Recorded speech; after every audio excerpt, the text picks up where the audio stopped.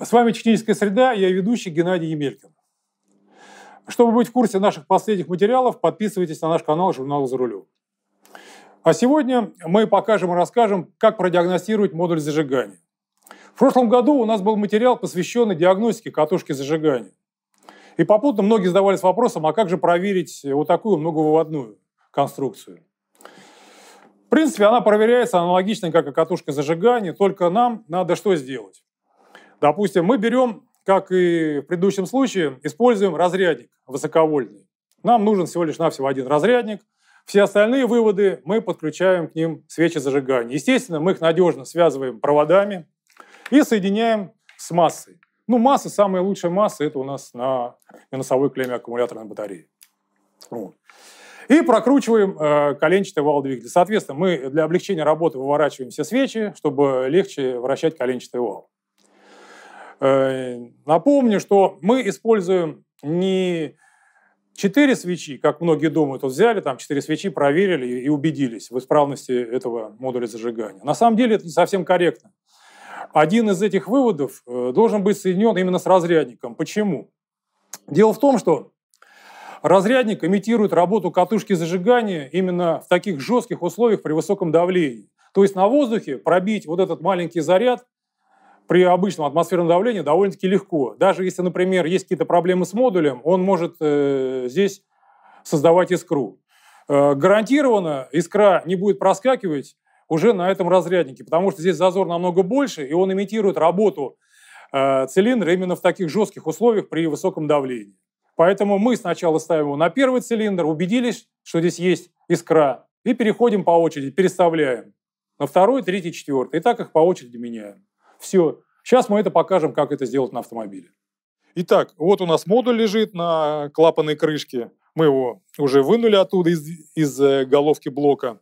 Э, выкрутили свечи, соответственно, чтобы легче нам потом крутить э, коленчатый вал стартером. Сейчас нам надо соединить все наши свечи с носовым выводом аккумулятора. Вот мы берем проводочек наш, который вот мы сделали специально для этого случая, и вставляем их в модуль зажигания.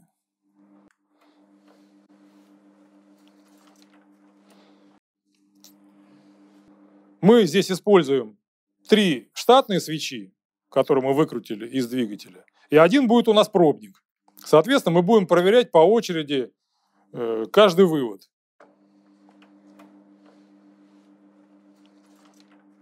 Для упрощения мы вот сделали 4 коротких э, провода и один длинный. То есть э, мы все соединяем, все 4 провода с одним, и его же мы цепляем на массу. То есть самая лучшая масса – это минус аккумуляторной батареи. Каждый вывод должен быть э, э, с, со свечой, либо в ней должен быть установлен разрядник. То есть свободных выводов быть не должно. То есть везде все должно быть соединено на массу. В противном случае, если у нас будет какой-то свободный вывод, и мы начнем проверять катушку, когда мы будем прокручивать э, коленчатый вал стартером, она у нас просто сгорит. И все, на этом работа будет просто потрачена впустую, и мы вместо диагностики сделаем вредительство.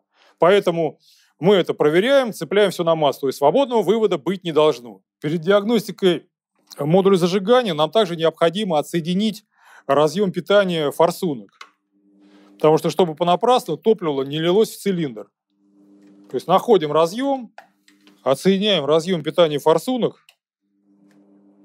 Теперь нам остается подключить штатный разъем питания к модулю зажигания. Вот мы его чуть смещаем и подключаем. Разъем. То есть восстанавливаем прежнюю схему подключения. То есть модуль у нас будет подключен так же, как в обычном э, режиме он работает на автомобиле. Все, вот мы его проворачиваем так, надежно его устанавливаем, чтобы у нас не упал при вращении коленчатого вала. Все, теперь мы приступаем э, непосредственно к диагностике э, модуля зажигания. То есть начинаем, естественно, как вот мы по этой схеме, с первого цилиндра, у нас разрядник стоит в первом цилиндре, и прокручиваем коленчатый вал. Поехали. Вот мы проверяем. Все, хватит. То есть в первом цилиндре искра есть. Мы вынимаем разрядник из первого и вставляем его во второй. Соответственно, Свечу из второго мы вставляем в первый, а разрядник во второй.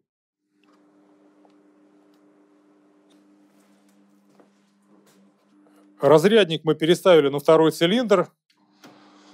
Переходим к проверке. То есть опять прокручиваем коленчатый вал. Этого достаточно. Все, вот мы увидели, искра появилась. Значит, второй цилиндр в порядке. Переходим к третьему. Внимай его, клади. Все, этот теперь отставляешь. Все, разрядник на третий.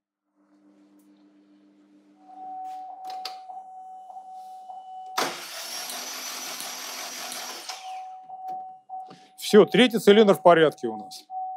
Переставляем разрядник на четвертый цилиндр, а свечу на третий.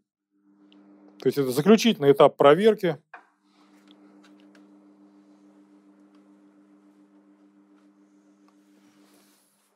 Мы видим, что на четвертом цилиндре нет искры. Это говорит о том, что модуль неисправен именно по этому цилиндру. Из-за этого двигатель троит. То есть причина найдена. Диагностика модуля проведена.